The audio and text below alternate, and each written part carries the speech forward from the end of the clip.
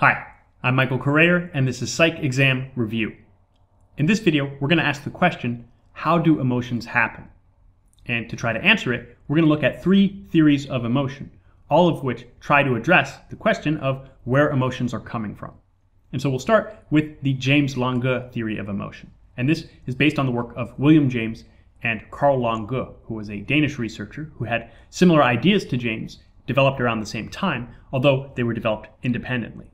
So in the James Lange theory of emotion, there's a great deal of importance on physiological activity, right? The activity of the body as being the source of where emotions are coming from. Now, it's important to note that in his paper describing uh, his views on emotion, written in 1884 called What is an Emotion, William James wrote that he was only concerned with those emotions that have distinct bodily expression. So he was already sort of narrowing his view down to emotions that have some physiological representation in the body.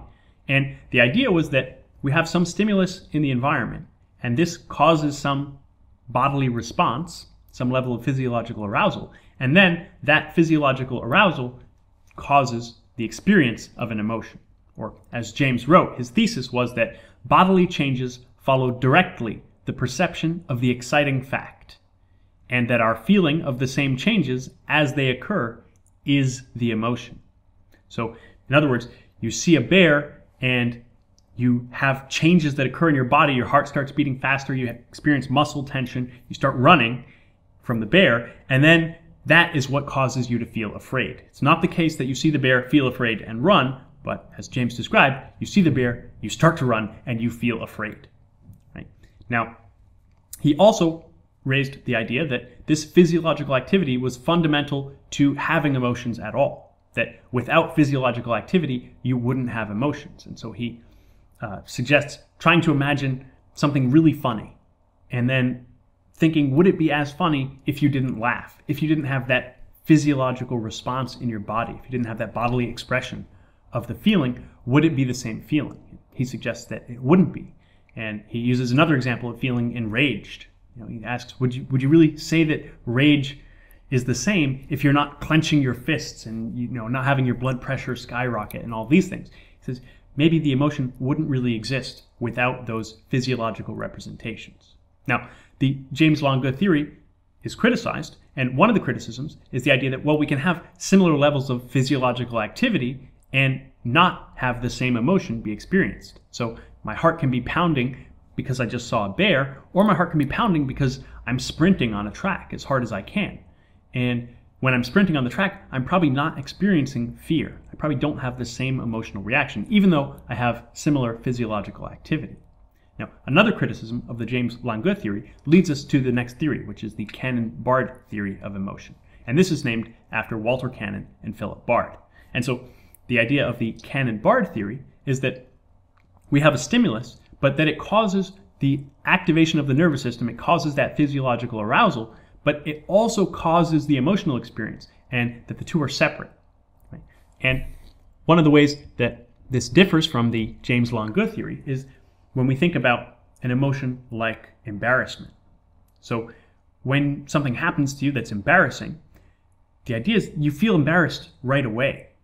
And then you also have some physiological changes that occur. But what the Cannon-Bard theory points out is that those changes may be delayed. They might actually happen fairly slowly, and yet you're already experiencing the emotion.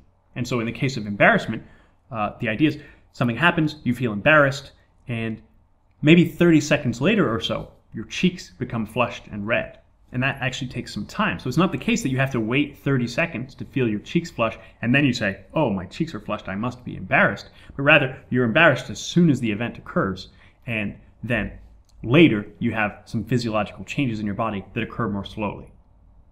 Now, the last theory that we'll look at is the Schachter-Singer theory of emotion, also known as two-factor theory. And this is based on the work of Stanley Schachter and Jerome Singer. And this is called two-factor theory because it considers that there's two factors that are combining to give us the emotional experience. And these are a stimulus in the environment, but then we also have our cognitive appraisal, in other words, our thinking about the situation, and that it's a combination of the stimulus and the appraisal that gives us the emotional experience. Now, in order to demonstrate this, we'll look at an experiment that was conducted by Stanley Schachter and Jerome Singer in 1962.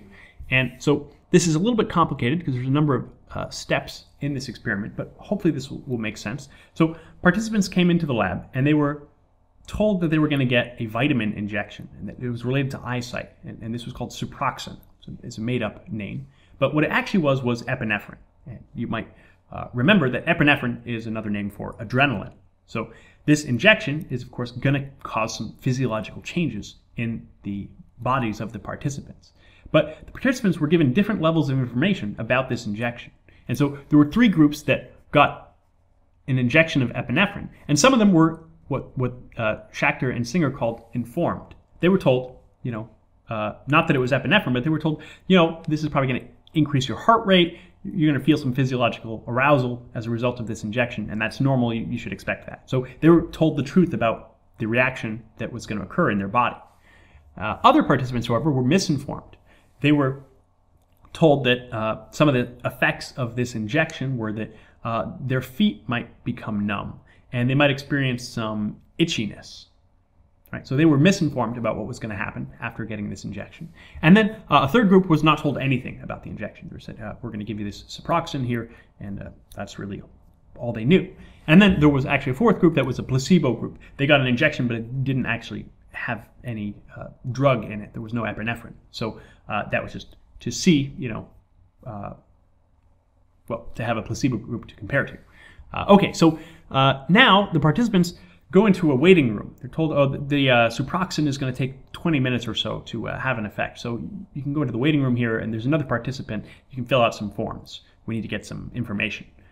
And so while they're doing this, they're in the room with what they believe is another participant, but this person is actually a Confederate working for the experimenters. And so there's now two different variations. So some of these participants, whether they're informed or misinformed or ignorant or got a placebo injection, they're going to interact with a Confederate who is acting euphoric.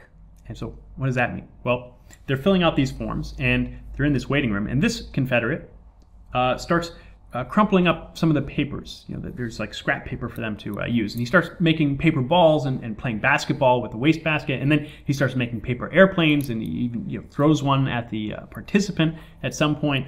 And he's just acting really sort of giddy and, and silly. And he, he moves some things around in the room and he finds uh, some hula hoops and he starts playing with the hula hoop. And there's another one and he, you know, he tries to get the, the participant to play with the hula hoop. And so he's acting sort of in this giddy, euphoric way. Now, the other condition is that some participants interacted with a Confederate who was angry. So there were some personal questions on these forms. It was like asking, how often do you have sexual intercourse each week?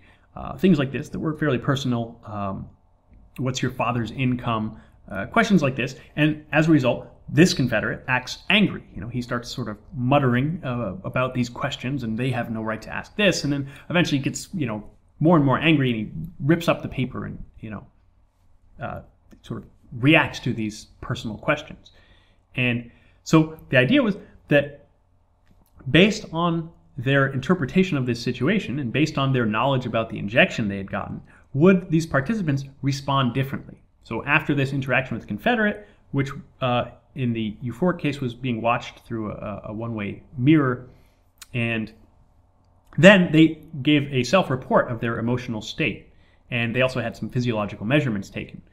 And the idea was that if the situation sort of mattered, then their knowledge about the situation would influence their emotional experience of interacting with this Confederate. And this is what Schachter and Singer found. So, what I've listed here is based on the self-report, which which looked at their level of happiness and their level of irritation. And so they got a, a, score which combined these. And the idea was that, you know, if they were happier in the euphoric condition, that, that they were more influenced by this happy euphoric Confederate. And so this list here shows us who, who were happiest, which participants were happiest. And it started with the people who were misinformed about the drug. And the idea was that they didn't know why they were feeling their heart beating more quickly and they were misinterpreting that as being, well, I guess I'm feeling happy too. I'm feeling kind of giddy and silly, just like this Confederate that I interacted with. And the people who were ignorant of what the drug was going to do were probably also making a, a, a, similar mistake, but you know maybe they had some suspicion it was from the drug or something. Remember, they didn't know anything about the injection. So uh, then next we have the placebo group, right?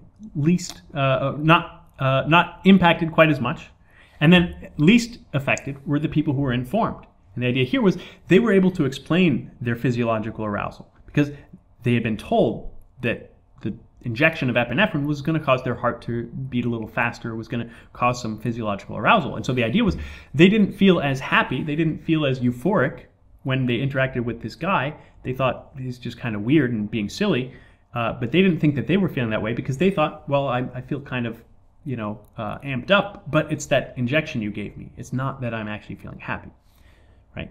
And so uh, in the second condition, where we have the anger condition, uh, they didn't actually have a group that was misinformed about this. It was originally meant to be a control condition. And uh, anyway, uh, they only were looking at three groups here uh, the people that were ignorant about the drug that they had been injected, the placebo group that was not injected with any drug, and the informed group, which was injected but also told what the drug was going to do. And uh, as we see here, the response that they had, the people who felt most irritated after this were the people who didn't know where their physiological arousal was coming from. They were ignorant about the drug.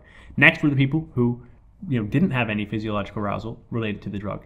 And lastly were the people who were informed. Right? So again, they weren't tricked into thinking that they were angry because they thought they knew where their anger was coming from, or where their physiological arousal was coming from, I should say, and that it was coming from the injection that they had gotten. Okay, so what does all of this really mean?